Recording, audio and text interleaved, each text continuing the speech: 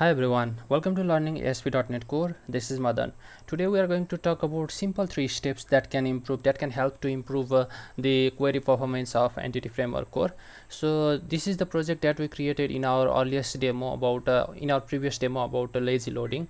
So in that project I have made only very minor changes here. So in the model I have in the sensor class I have added a field called created at and added assigned a default value of datetime dot now and I have generated the migration and updated the database. Uh, and uh, other thing is uh, in the views of the I have created the index view in the home.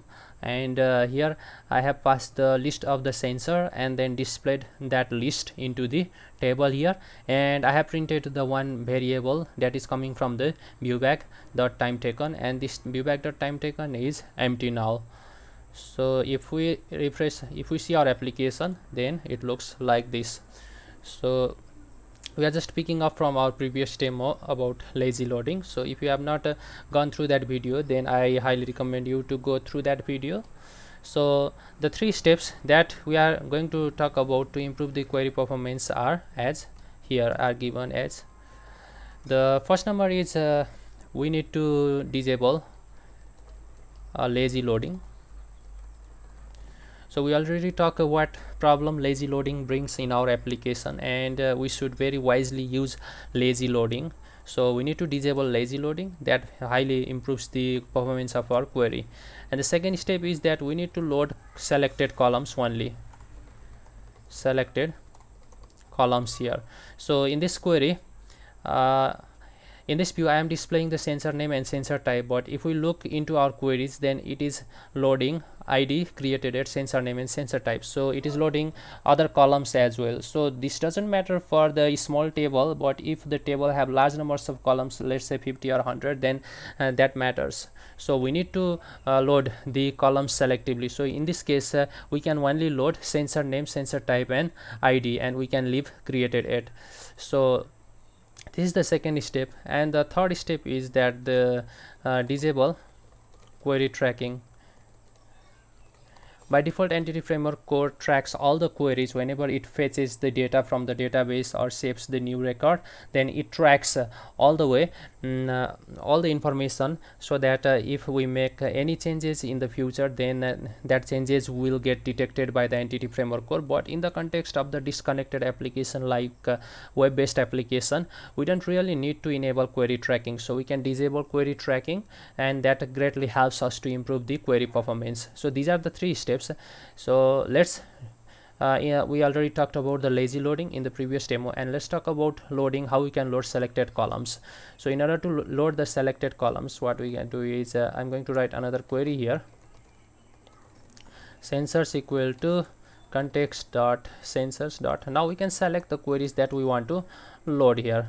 So new sensor and then let's select the only field. So what we need is we need a id and uh, so i mistake here s goes to s dot id and then we need a sensor name. Sensor name equal to s dot sensor name. And then we need a sensor type. Sensor type equal to s dot sensor type. So these are the three fields that we need uh, for this view. So we don't need to display the or uh, fetch the created at column from the database. So i'm going to convert this into a list. And uh, let's see our application has started or not. Let's restart it. So it is starting up and uh, let's uh, refresh. And uh, note that in the previous query we are loading all the columns from the database table. But in this uh, step we are only going to load sensor name sensor type and the id here. So i'm going to refresh and we got the same result here but if we see our query looks like entity framework does not uh, log our query here. So let's refresh it again. Let's and uh, I stop the server and we can see the query here. It should log without disturbing the server but uh, from here we can see what we can see is that it has loaded only id sensor name and sensor type. So we have not loaded the created at column. So in this way we can selectively load the columns uh, the columns that we only need uh, in our views. And uh, for the large tables tables with the uh, large number of columns this can greatly helps us to improve the performance of our query here. And the other thing is that we can disable the query tracking so that it improves our query performance. So in order to disable the query tracking in the application db context we have the constructor and here the change tracker api is available here and it has a query tracking behavior enum and from this query tracking behavior enum we can select no tracking. And uh, now if we run our project it will give us the same result but uh, uh, there is a difference in time that is uh, needed to fetch the data from the database. So let's refresh. And then we get the same result and we get the same query and we are loading only the three columns here. So now let's check the time. Let's calculate the time how much time each query takes. So in order to calculate the time uh, what I'm going to do is I'm going to use the stopwatch stopwatch equal to new stopwatch. And then let's start the stopwatch just before we fire our query start method. And then once we finished querying the database we are going to stop the stopwatch stopwatch dot stop and uh, what we can do is we can do time elapsed elapsed equal to we have a stopwatch dot. We can get elapsed here. Time elapsed. And now we can pass the real time here. Time elapsed dot. Total seconds. And let's add a string here saying seconds. So let's save this. And uh, let's start our server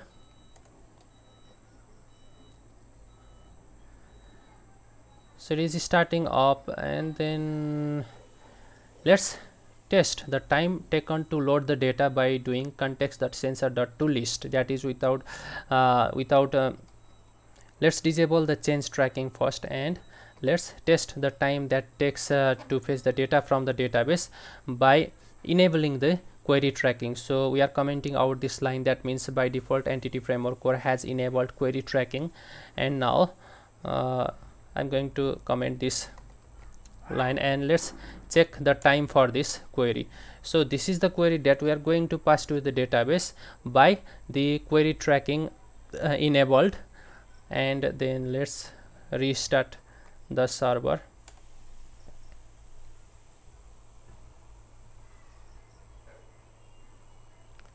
And then let's refresh it. And now it took 2.1618 second uh, without disabling the uh, query tracking behavior. Now let's enable let's disable the query tracking and we are going to run the same query here.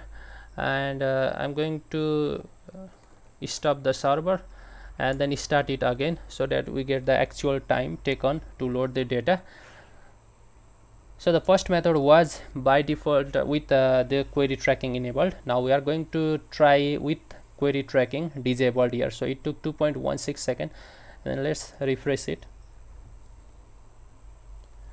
And then once we disable the query tracking and it took only 1.198 seconds. So this is a significant amount of the times and this uh, greatly helps us to improve the performance of our query.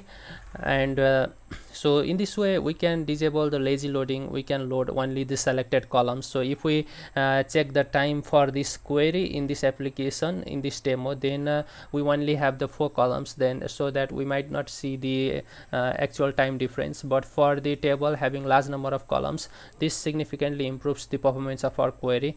And the third step is we can disable the query tracking. And once we disable the query tracking entity framework core doesn't uh, initiate the process of tracking uh, all the data changes that are changed in our application. So this also uh, greatly helps us to improve the performance of our query. So if we follow these three steps then uh, we are good to go with entity framework core and uh, use its uh, power. So this is it for now friends and uh, if you like this video then please don't forget to share and subscribe. Thanks for watching and have a great day